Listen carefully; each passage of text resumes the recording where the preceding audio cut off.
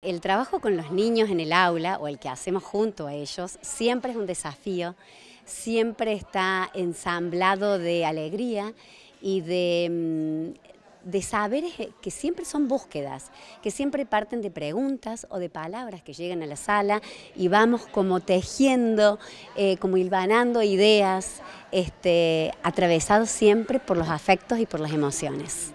Eso es la salita en un jardín de infantes y hoy las emociones a flor de piel porque ese trabajo se termina y hoy son los egresados y egresadas de este año.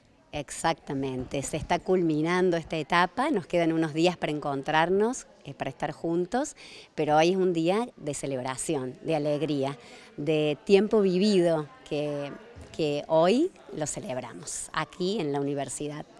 ¿De qué forma se va a estar eh, haciendo la entrega de los diplomas para que ellos se lleven este gran recuerdo a sus hogares?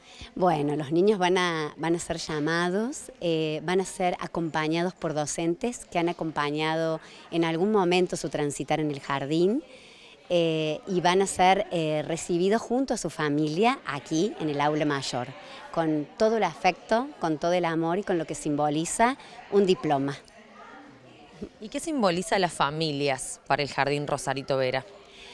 Familia y jardín, eh, tiene que haber un puente con muchísima comunicación, eh, porque los niños no, vienen solos al jardín, son parte de una familia, de un entramado y de una historia. y, eso tiene mucho que ver su familia, tiene todo que ver. Entonces hay una comunicación y un puente siempre abierto.